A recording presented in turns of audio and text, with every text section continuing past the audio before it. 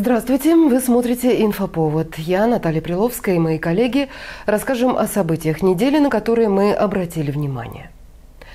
Одной из главных тем общегородского совещания на этой неделе стала подготовка ко Дню города. До большого городского праздника остается совсем немного времени. К нему активно готовится не только отдел культуры, но и коммунальные службы. В рамках подготовки к этому событию коммунальщики скосят траву, приведут в порядок дворы, покрасят урны и контейнерные площадки, отремонтируют ограждения и обрежут деревья и кустарники. Программа ожидается очень плотная, комплексная, рассчитана на, на две недели.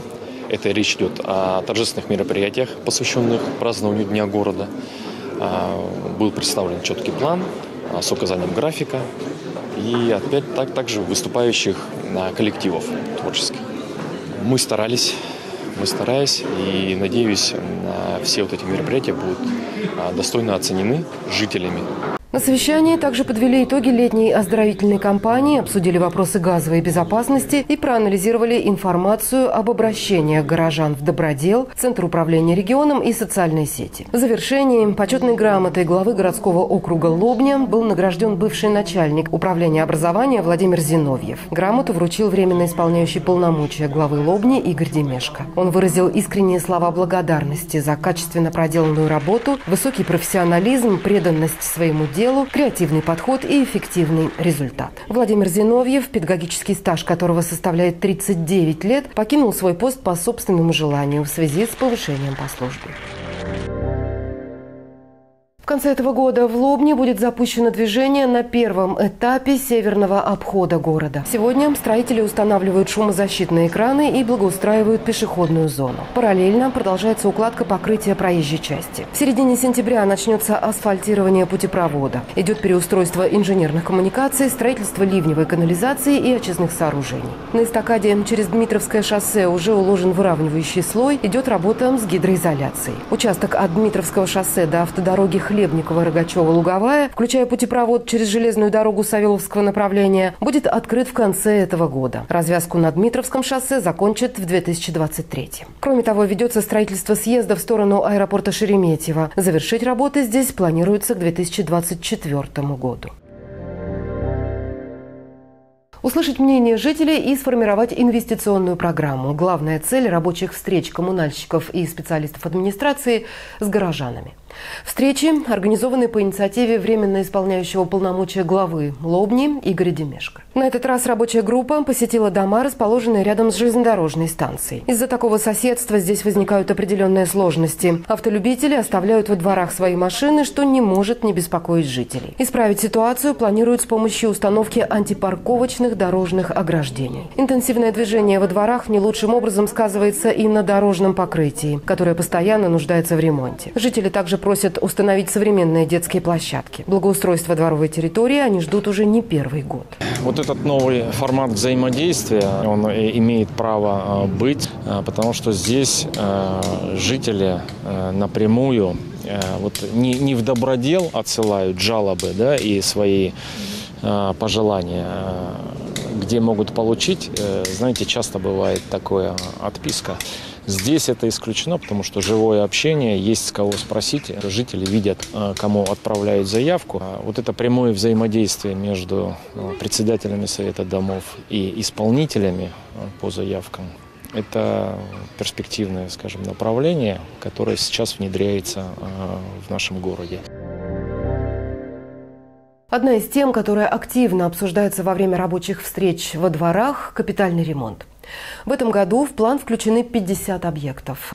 Вместе с сотрудниками профильных отделов администрации города, управляющей компанией МП «Домовладения» и депутатами, временно исполняющий полномочия главы городского округа Лобня Игорь Демешко проверил, как идут работы по замене кровли в доме номер один по улице Чехова. Сегодня провели осмотр хода исполнения работ. Это по улице Чехова 1 а, замена кровли, в том числе а, вместе замена идет стропильной системы. А, ход исполнения работ на 80%. Работы идут согласно графика производства работ. Также обратил внимание на печальное состояние балконных плит, так как это создает угрозу жизни и здоровья граждан. И на Чехова-1 Сейчас мне предоставят график исполнения работ. Э, думаю, в скорейшем времени все это они исправят. Управляющей компании даны поручения привести в надлежащее состояние балконные плиты и окна в подвальных помещениях. Ремонт кровли, фасада и отмостки ведется и в соседнем доме номер 8 по улице Ленина. Отмостка там, в принципе, уже готова. Фасад мы приступили, работы ведутся. И на крыше у нас э, стропильная система 100%, э, утепление чердака 80%. Обе кровли накрыты, поэтому осенние дожди не помешают выполнению работ. Контроль за их выполнением ведется также со стороны управляющей компании и управления ЖКХ. Всего в план капитального ремонта на этот год включено более 50 объектов.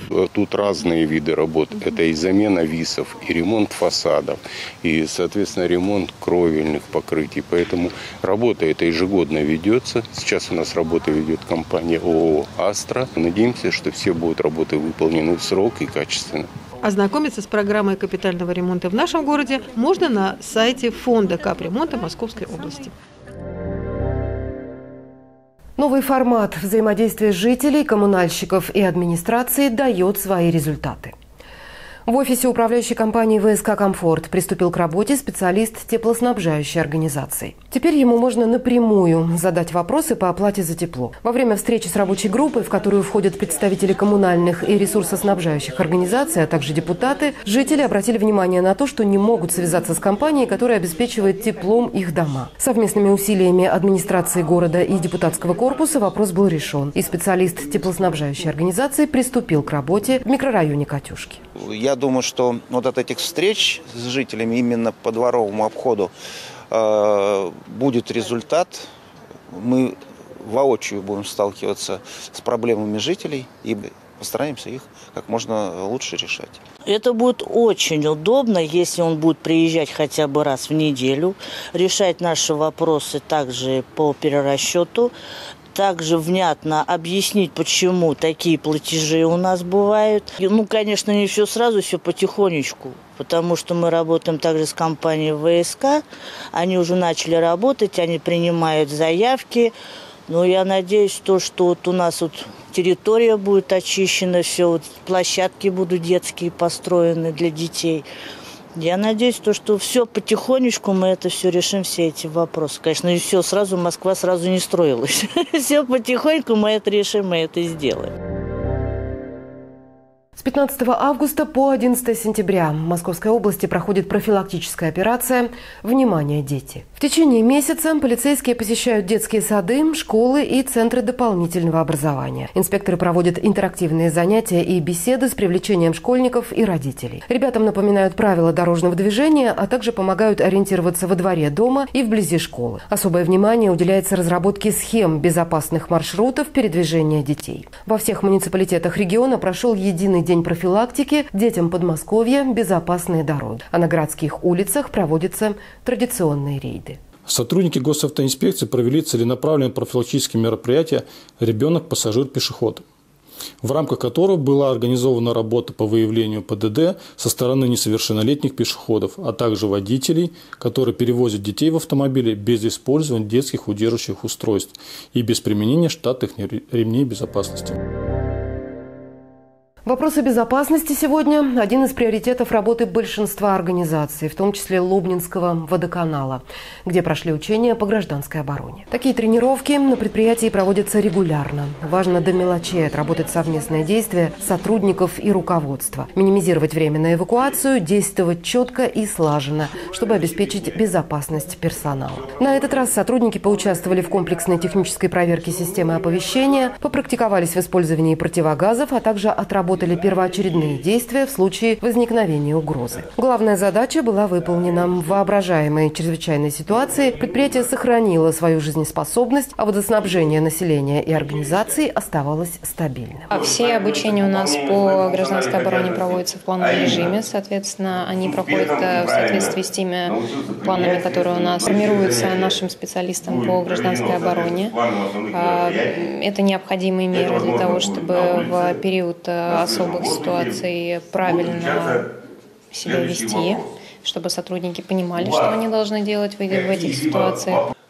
Хотелось бы особо отметить, это отношение людей, которые в непростой период относятся с должным пониманием, со старанием, исполнительностью.